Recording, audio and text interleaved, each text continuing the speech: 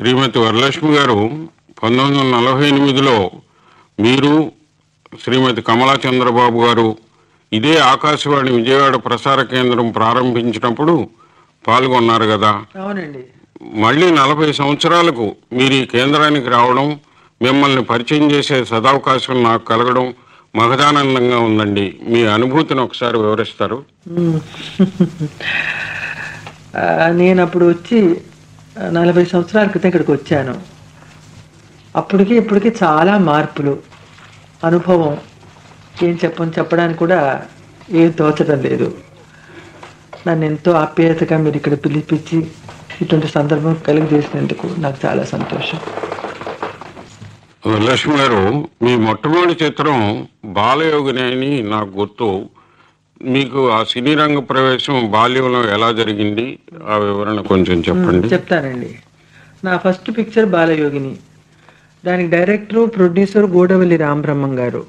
అది పిల్లల పిక్చరు. అంతా పిల్లలే ఆ సినిమాకి కథలో పాల్గొన్న వాళ్ళు అందు గురించి పాట పాడేవాళ్ళు కావాలి పిల్లలు కొంచెం హుషారుగా ఉండే పిల్లలు కావాలి అని అందరూ వెతుక్కుంటూ వచ్చిన దాంట్లో నన్ను చూస్ చేశారు ఒక చిన్న వేషానికి. అటువంటి సందర్భంలో నేను సినిమా రంగానికి రావడం జరిగింది. గోడూరి రామనామం గారిచే దర్శకత్వం నిర్వబడ్డ సంచలన రాజకీయ చిత్రం రైతు బిడ్డలో మీరు సూరిబాబు గారు శ్రీమతి పువ్వుల అనసూయ గారు పాడిన సై సై చిన్నాపరెడ్డి పాట మరో చిత్రం ఆయన చే దర్శకత్వం చేయబడ్డదే.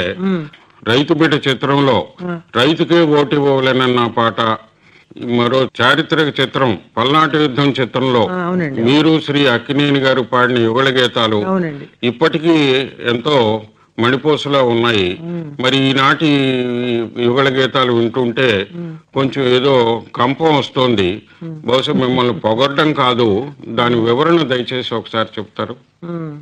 అప్పుడు సంగీతానికి ఇప్పుడు సంగీతానికి చాలా మార్పు ఉందండి. ఇప్పుడు ఇప్పుడు పద్ధతులు వేరుగా ఉన్నాయి ఇప్పుడు పాటలు వేరుగా ఉన్నాయి పాడేవాళ్ళు. అదొకలాగుంది. మా సంగీతం అంటే అప్పుడు కర్ణాటిక్ అని క్లాసిక్ అని మిక్స్ చేసి చూస్ చేసి దానికి తగ్గ రిలీజ్ రాసి దానికి తగ్గ పాడించేవాళ్ళు. ఒక్క లైన్ తప్పిపోయినా మరలా ఇంకో మాట పాడాలి. ఒక్కొక్క పాటకి నెల రోజులు రెండు నెలలు మూడు నెలలు రిహర్సల్. మార్నింగ్ నైన్కి వస్తే మధ్యాహ్నం భోజనానికి వెళ్ళిపోవాలి. మరలా మూడు గంటలకు ఆరంభిస్తే సాయంత్రం మరలా ఏడు గంటల వరకు. ఇది క్రమశిక్షణ. కాబట్టి అప్పుడు మ్యూజిక్కి ఇప్పుడు మ్యూజిక్కి చాలా తేడా ఉందండి. అంటే శిక్షణ మీలాగా ఇప్పటి వాళ్ళు పాటించటం లేదనేదే మేము అర్థం చేసుకుంటున్నాము. ఆనాడు దర్శకుని మీరు తండ్రిలాగా గురువుగా చూచేవారిని విన్నాము. అప్పటి నుండి ఉన్న నటీమణిగా ఈనాటి తేడాలను గమనిస్తూ ఉన్నారు కదా సందర్భాన్ని బట్టి మీరు తేడాన్ని ఒకసారి వివరించి చెప్పవలసిందిగా అప్పుడు ఒక సినిమా తీయడానికి ఒక సంవత్సరం సంవత్సరంన్నర రోజులు తీసుకునేవారు. దానికి తగ్గట్టు ఖర్చు పెట్టేవారు. దానికి తగ్గట్టు కృషి చేసేవారు. దానికి తగ్గట్టు మమ్మల్ని అంతా తయారు చేసేవాళ్ళు. ఇప్పుడంతా ఫాస్ట్ లైఫ్. వచ్చామా? Come on start cut cinema తీసేసాం అదే మరి పాడామా? ఇక్కడ ఒక పాట పాడానండి. కమాన్ కమాన్ టైం అయిపోతుందండి. నేను ఇంకో కాల్ షీట్కి వెళ్ళాలి. ఏదండి? ఏం రాశారు? సరే ఓకే. ఇంకా మ్యూజిక్ డైరెక్టర్ ఓకే అని చెప్పక్కర్లేదు ప్రొడ్యూసర్ ఓకే అని చెప్పక్కర్లే. నేను పాడి నేనే ఓకే అని చెప్పేసేయాలి. అలా చెప్పి అత ఫాస్ట్ లైఫ్ జరుగుతుందన్నమాట. కాబట్టి అప్పుడు కృషికి ఇప్పుడు కృషికి ఇప్పుడు ఇదంతా ఒట్టి only business and money making అప్పుడు కృషి భయం భక్తి మర్యాద ఆ రోజులు వేరు. ఈ రోజులు వేరు. ఇంకా నేను చాలా డీప్గా చెప్పలేను క్షమించాలి. అయితే అప్పుడు మీరు కళను దైవదత్తంగా చూసేవారని తర్వాత వ్యాపార రీత్యా కొంతవరకు పాటించారని కానీ ఇప్పుడు కేవలం వృత్తిరీత్యాగానే పాటిస్తున్నారని మీ అభిప్రాయంగా మేము అనుకుంటున్నాం చెప్పాను కదండి. సరేనా? Only money making. కానీ ఎక్కువ కాలం తీసినందువల్ల అవి సక్సెస్ అవుతాయని మరి ఇప్పుడు ఇప్పుడు కూడా చాలా తక్కువ టైంలో తీసి కొన్ని సక్సెస్ అంటున్నారు. బహుశా అది ఆర్థిక విజయమా? లేకపోతే కథాపరంగా చిత్రాలు బాగుంటున్నాయా? ఇవాటికి కూడా కొన్ని చిత్రాలు ఈనాటి ప్రేక్షకులు వాటిని సక్సెస్ చేస్తున్నారు. మరి ప్రేక్షకుల్లో ఉన్న భావంలో మార్పా? ఏమిటి దయచేసి? ప్రేక్షకుల్లో ఏం మార్పు లేదు. మంచిని చూస్తారు డబ్బా సినిమాలు చూస్తారు. ఇప్పుడు వచ్చే సినిమాల్లో అసలు కథ ఏమన్నా ఉందా? ఏం లేదు మాట్లాడకూడదు. ఏమిటో వద్దులేండి ఏం చెప్పినా బాగోదు. మీకు సంగీత శిక్షణ ఎలా అలవడింది? నాకు సంగీత సంగీత శిక్షణ నా ఐదో ఏట్లోంచి నేను నేర్చుకున్నానండి. సంగీతం నాకు నేర్పింది మా పెదనాన్నగారు కర్నూలులో ఉన్నాను నేను. అక్కడే నేర్చుకున్నాను. నా ఐదో ఏట్లోంచి నా సంగీత శిక్షణ ప్రారంభం. మీ స్వస్థలం కర్నూలు అని చెప్పారు. అవునండి. తర్వాత మద్రాసు వచ్చినాక తెలుగు అరవం కాక. మరే భాషల్లో అయినా పాడారా? మాట్లాడకూడదు ఏం పాడలేదండి. నేను యాక్ట్ చేసే సినిమాలు తెలుగు అరవమే. నేను యాక్ట్ చేసిన సినిమాల్లో నేను వేసే వేషాలకే నేను పాడాను. చాలా మంది మ్యూజిక్ డైరెక్టర్లు అమ్మ మీకు మీకు ఇన్ని వేలు ఇస్తాము అన్ని వేలు ఇస్తాము మీరు ప్లేబ్యాక్ పాడండి. మీకు ఇరవై వేలు ఇస్తాము నలభై వేలు ఇస్తామని చెప్పారు. నేను అట్ట మాట నేను పాడనండి నేను వేషాలు వేస్తాను నేను పాడతాను నా సంగీతాన్ని నేను నేను అలా సొమ్ము చేసుకోను నేను పాడినండి అని చెప్పానండి? అలా ఉన్న నటీమణిలో కొద్దిమంది మేడం భానుమతి గారు తర్వాత మీరు కూడా ఆ కోవలకు చెందిన వారేనమాట అవునండి మీరు చెప్తున్నారు కదా కరెక్ట్. ఈనాటి నటీమణిలో ఎక్కువ మందికి మాట పాట కూడా మరొకరు చెప్పాల్సి వస్తుంది. అలా కాకుండా మీ మాటను మీ పాటను మీరే పాడి ఎక్కువ మందిని ఆనందింపచేశారనమాట అవునండి. నాటక రంగం అనుభవం ఏమైనా ఉందా? మీరు నాటకాల్లో ఏమైనా నటించారా? ఆ.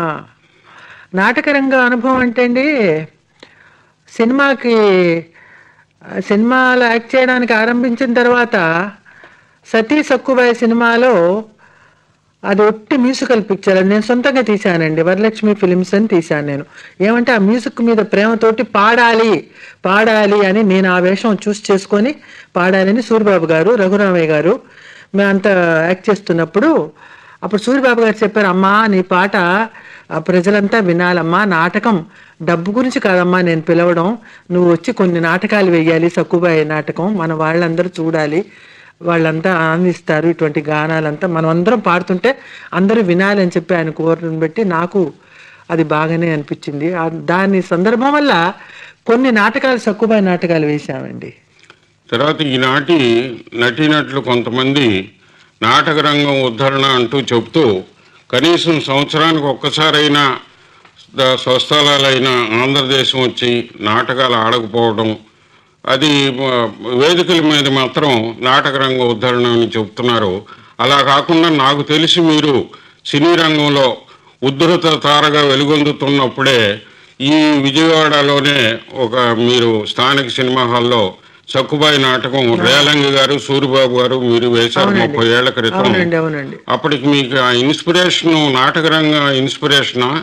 ఎలా జరిగింది? ఇంకా తర్వాత ఏమైనా నాటకాలు ఆడారా? లేదండి తర్వాత ఏం నాటకాలు ఆడలేదు. ఈ సక్కుబాయి నాటకాలే ఆడాం అది ఒక ఇరవై ముప్పై నాటకాలే ఆడాం అనుకుంటాను. ఆ అనుభూతి అంటే ఎంత అనుభూతి అంటే చాలా గొప్ప అనుభూతి. సినిమాలో అంటే అప్పుడప్పుడు ఏదో తప్పుపోయినా ఇంకో టేక్ తీసుకుంటాము. అది మాకు మనకు మనకు మీరు చూసే వాళ్ళ రియాక్షన్ తెలియదు కానీ నాటకం అంటే అప్పుడప్పుడే ఒక పద్యం పాడామనుకోండి అప్పటికే వాళ్ళ అనుభూతి మనకు తెలిసిపోతుంది అమ్మ బాగుంది అని.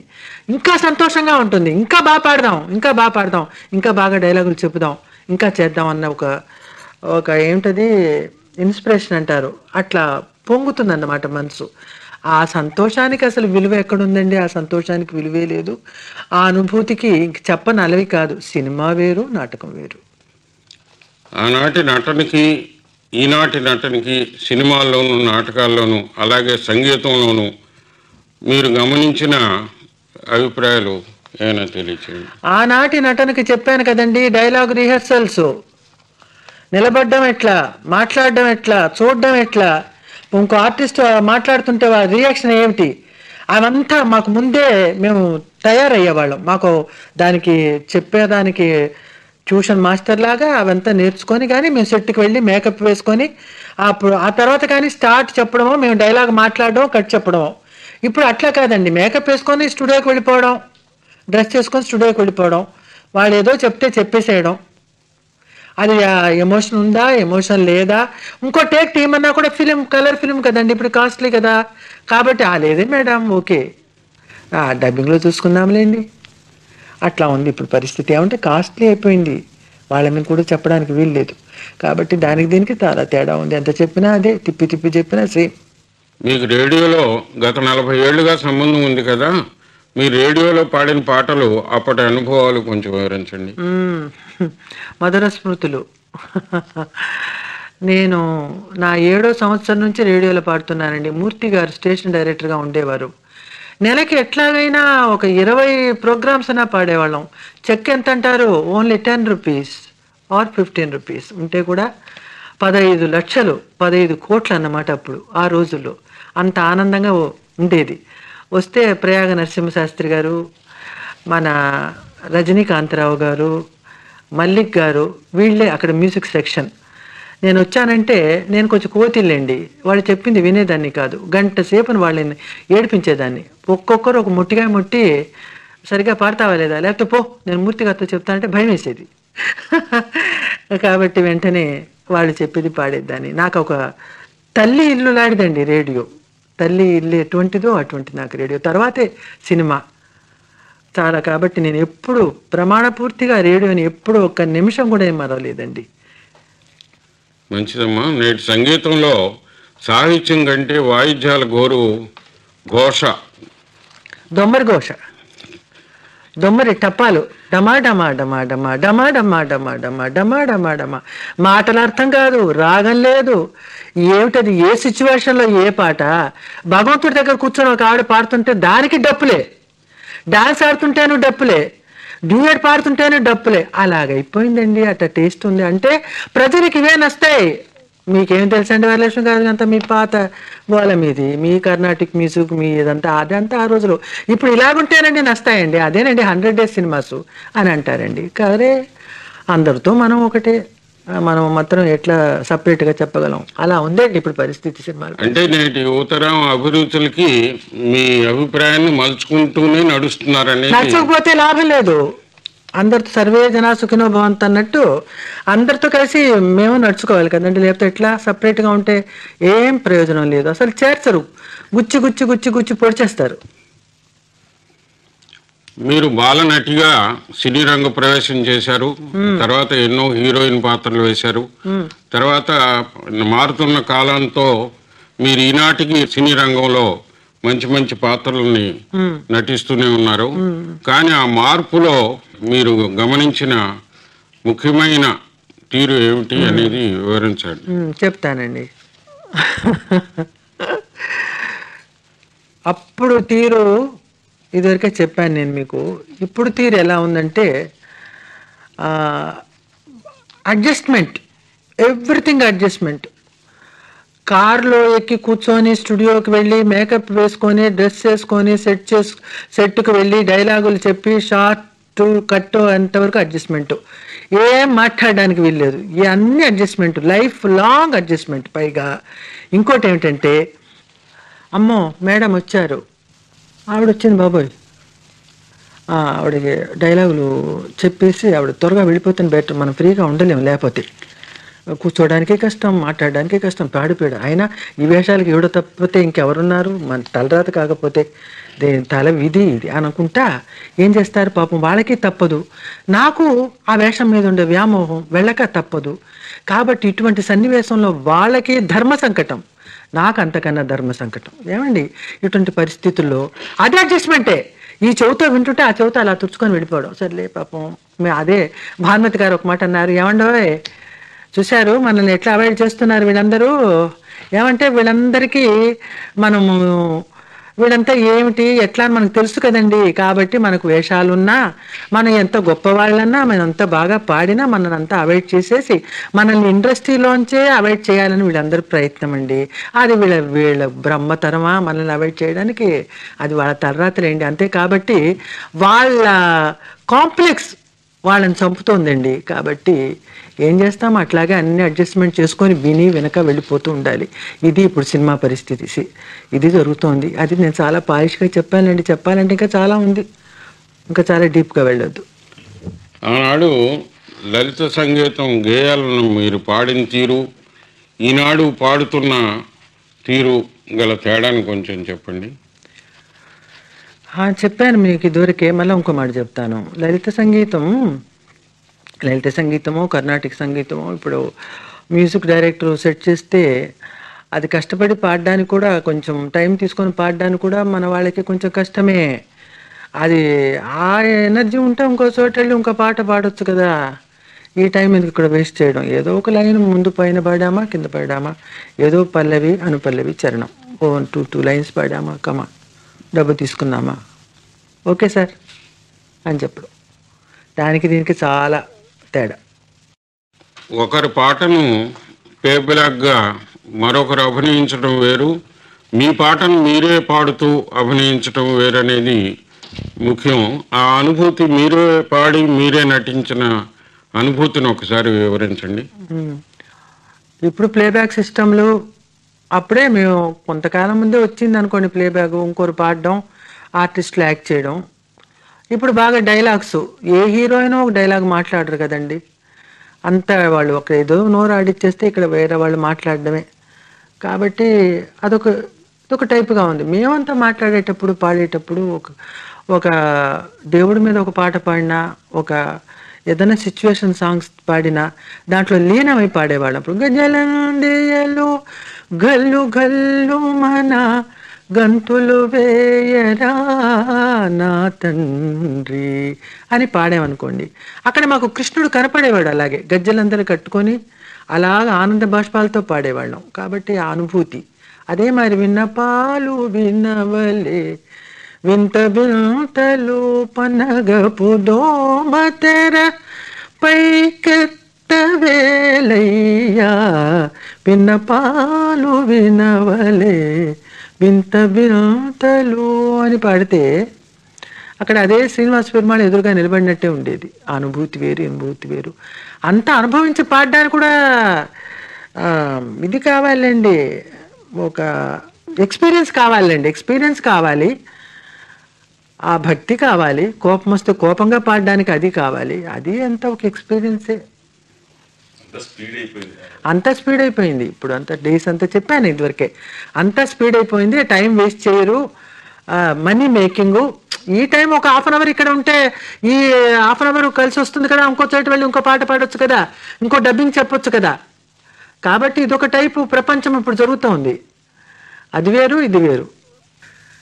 చాలా ముఖ్యమైన విషయం చెప్పడం మర్చిపోయానండి. ఈ రేడియో సంస్థ నాకు ఎంత ఉపకారం చేసిందంటే నేను ఇవాళ రోజున నటిగా ఉన్నాను. మీరందరూ నన్ను నటిగా గుర్తించారంటే దానికి కారణమే రేడియో సంస్థ. అదేమిటితో తెలుసా అండి? చెప్తాను వినండి. నేను చిన్నప్పుడు వేషాలు వేసి మధ్య గ్యాప్ అటు హీరోయిన్ కాదు ఇటు చిన్నపిల్ల వేషాలు వేయడం వేయడానికి వీల్లేదు. కాబట్టి కొన్ని రోజులు ఏమి చేయకుండా ఉండిపోయాను. అలాంటప్పుడు కూడా రేడియో సంస్థ నాకు ఎప్పుడైనా చెప్పాను కదా మీతోటి నెలకు ఇరవై ప్రోగ్రాంలన్నా ఉండేదని. ఆ విధంగా నేను ప్రోగ్రామ్స్కి అటెండ్ అవుతూనే ఉండేదాన్ని. ఒకరోజు మార్నింగ్ పొద్దున్న ప్రోగ్రాము ఒక అది కొన్ని పద్యాలు నాలుగు పద్యాలు అనుకుంటాను. అవునండి. మూర్తి గారు ఆ డైరెక్టర్ గారు ఏం చేశారంటే మన వరమ్మతోనే పాడించండి. బాగుంటుంది. ఆ పిల్ల బాగా పాడుతుందని చెప్పేటప్పుడు నాకు చెప్పారు. నేను వచ్చి పాడానండి. పాడేసి పాడిన తర్వాత ప్రోగ్రామ్ అయిపోయింది. ప్రోగ్రామ్ అంతా ల- రజనీకాంతరావు గారు వీళ్ళందరూ కలిసి "ఓ, బాగా పాడావే బాగా పాడావు నన్ను ఒసే పోయానే పా పిల్ల వరమ్మ వరమ్మ అని పిలిచేవారు వాళ్ళందరూ. వాళ్ళకంత నా దగ్గర చనువు వాళ్ళ పిల్లలాగే నేను ఉండేదాన్ని. అప్పుడు ఏమైందంటే ఒక ఫోన్ వచ్చింది. అమ్మ అమ్మ ఫోన్ వచ్చింది మీకు అని చెప్పి చెప్పారు. మాకు ఫోన్ చేసేవాళ్ళు ఎవరు? అని అనుకొని మా అమ్మగారు ఫోన్ తీశారు. అమ్మ సావిత్రమ్మ గారు అంటే ఎవరు? అంటే మా అమ్మగారి పేరు. ఆవిడ వెళ్ళి ఆవిడకి ఫోన్లో మాట్లాడు పాతకాలపు మనిషి. పాపం ఫోన్లో మాట్లాడడం కూడా చదువు ఎవరండి? ఎవరండి అంటా ఉంది ఫోన్లో. తర్వాత నేను తీసుకొని ఎవరండి మాట్లాడేదంటే అంటే నేనే రామబ్రహ్మ గారు మాట్లాడుతున్నాను. ఎక్కడున్నావే నువ్వు ఇన్ని రోజులుగా? ఇప్పుడే నీ పాట విన్నాను. నువ్వు వెంటనే రా మా ఆఫీసు ఎల్డామ్స్ రోడ్లో ఉంది. మీ అమ్మగారిని తీసుకొని వెంటనే రావాల్సిందే అని చెప్పి చెప్పారు. మాకేదో ఒక కొండలాగా అయిపోయింది. ఇదేంటి చెప్పమా రామబ్రహ్మ గారు పిలుస్తున్నారు. మనకి ఇంకా మంచి రోజులేమో అనుకొని నేను మా అమ్మ బస్సు ఎక్కి అక్కడ ఎల్డామ్స్ రోడ్కి వచ్చాం వస్తే చూశారు ఏమే ఎక్కడున్నావు? ఇన్ని రోజులైంది కనపడలేదమ్మా నువ్వు. నీ పాట విన్నాను జ్ఞాపం వచ్చింది ఏంటి సినిమాల వేషం వేయడం మారి మానేశావా?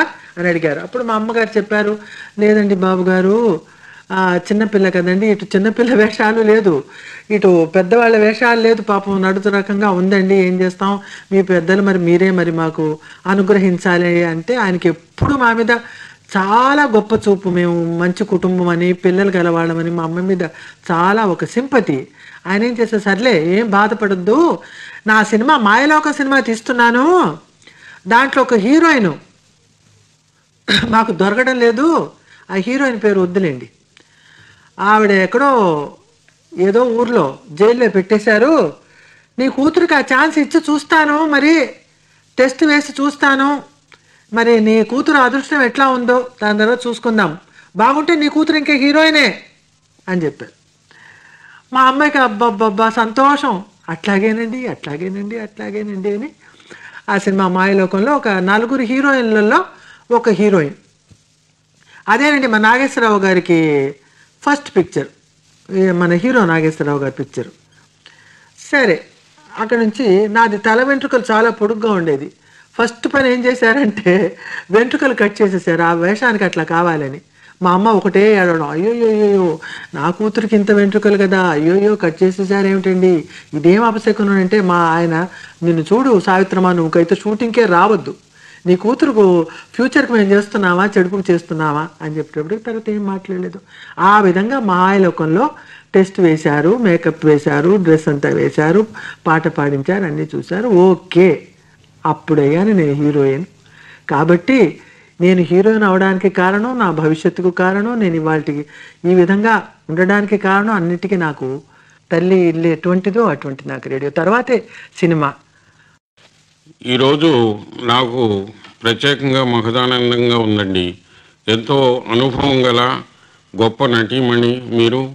ఈనాడు మీతో ఈ చక్కని సంభాషణలు అడగటానికి అవకాశం ఇచ్చిన ఈ ఆకాశవాణి విజయవాడ వారికి శ్రోతలకు నా నమస్కారం చెప్తూ మీ గురించి కూడా రెండు మాటలు నేను తప్పకుండా చెప్పాలి. నాకు ఇటువంటి సందర్భం ఇచ్చింది లక్ష్మణరావు గారు. ఆయన మూలాన్న నేను విజయవాడ రావడం ఇట్లా మన విజయవాడ రేడియో వాళ్ళ నాకు ఈ సందర్భం బంగారు లాంటి సందర్భం ఇవ్వడం ఇదంతా నాకు చాలా ఆనందంగా ఉంది. ఆనందం అంటే నా కళ్ళలో ఆనంద బాష్పాలే వస్తున్నాయి. ఇటువంటివన్నీ డబ్బులు రావండి. మనుషులు ప్రేమ వల్ల ఆప్యాయతలో వస్తుంది. కాబట్టి మీ అందరికీ శ్రోతలకి లక్ష్మణరావు గారికి ఆల్ ఇండియా రేడియో సంస్థకి నా కృతజ్ఞతలు. నా జీవితాంతం నేను ఆల్ ఇండియా రేడియోని ఎప్పుడు మర్చిపోలేను. వారికి నా కృతజ్ఞతలు. నమస్కారం. చాలా సంతోషం అండి. నమస్కారం.